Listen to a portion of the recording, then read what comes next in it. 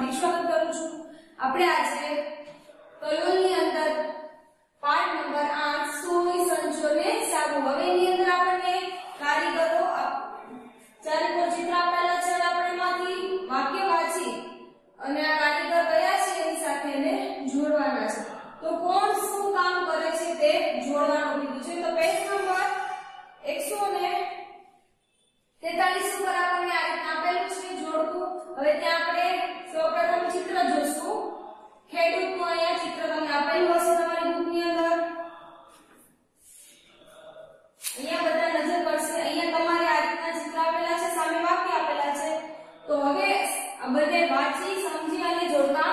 જોડતા જવાના છે.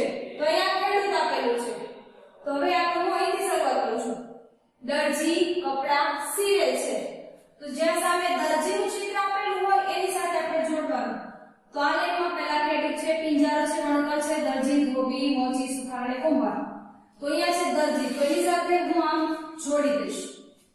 હવે ત્યાં ત્રીજું છે રૂમાંથી કપડા વણે છે હવે રૂ હોય એની અંદરથી કપડા વણે એને કહેવાય વણકર તો હું વણકર સાથે ને જોડીશ રૂમાંથી કપડા કોણ વણે તો કે વણકર વણે.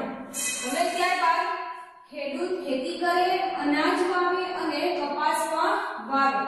તો તે કોણ તો કે ખેડૂત, તો ખેડૂતને આ રીતના ત્યાં જોડી દેવાનું છે. ખેડૂતનું કામ શું હોય તો કે ખેતી કરે, અનાજ વાવે અને કપાસ જે હોય એને પણ વાવે છે.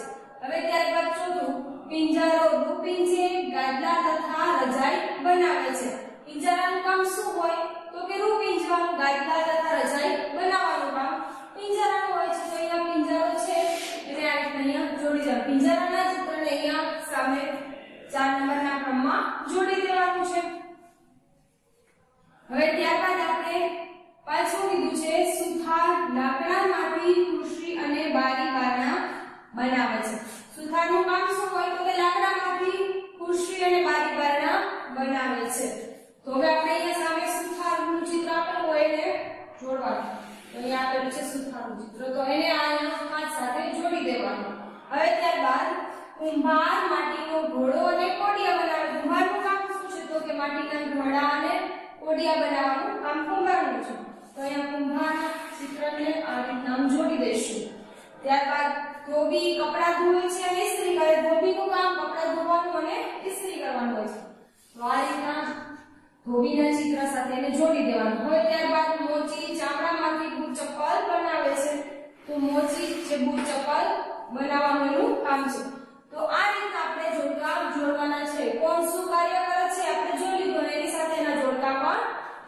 લીધા છે તમે પણ તમારી બુકની અંદર વ્યવસ્થિત વાંચી, સમજી, વિચારી અને જોડકા જોડજો. આના પછી હવે આપણે છે ને આગળ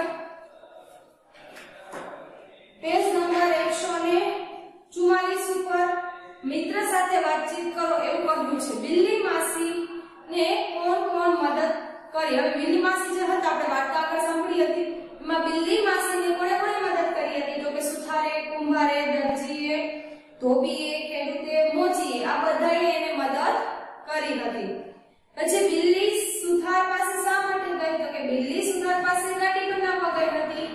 પછી બિલ્લીની ગાડીના પૈડામાં પંક્ચર થયું હોય, તો તે ક્યાં જશે? તો કે પંચર વાળા ત્યાં જાય ને ગાડીમાં પંચર પડે, તો ક્યાં જાય? તો કે પંચર ત્યાં જાય બિલ્લી માસીને મીઠાઈ ખાવી હોય, તે મીઠાઈ ખરીદવા કોની પાસે જશે? તો કે કંતોઈ પાસે જશે. મીઠાઈની ત્યારબાદ પાછું બિલ્લી માસી બીમાર પડ્યા છે તે દવા લેવા ક્યાં જશે? તો કે બિલ્લી ડોક્ટર પાસે જાય ને પ્રાણીઓના જે ડોક્ટર હોય એની પાસે બિલ્લી જશે.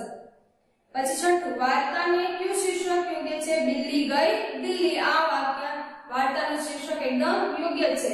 બિલ્લી બેન ક્યાં જવા માટે નિર્ધારિત કરતા? તો કે દિલ્હી જવા માટે. તો એનું શીર્ષક પણ કેવું છે? બિલ્લી ગઈ, દિલ્હી.